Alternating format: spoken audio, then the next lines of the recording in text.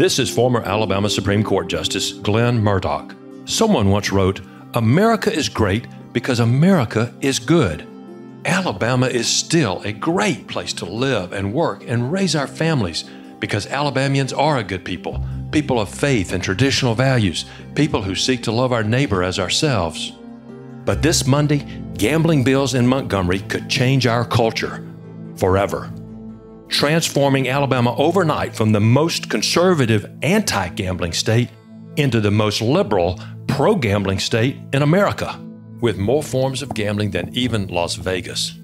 Imagine neon light casinos in every city and corner of Alabama, online gambling destroying lives, and instead of being our brother's keeper, a state government selling the lie of lottery riches to the least among us.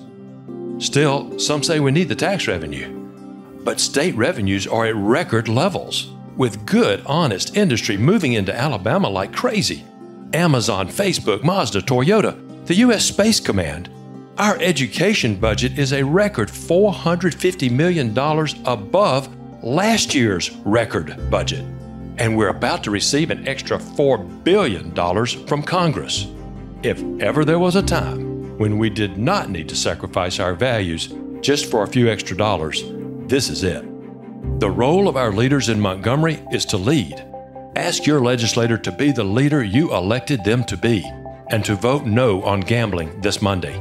To keep Alabama a great place to live and raise our families. Thank you. Call your representatives in Montgomery today at 334 261 0500 and urge them to oppose gambling in Alabama. 334 261 0500. 334 261 0500. Paid for by Take Back Action Fund, Auburn, Alabama.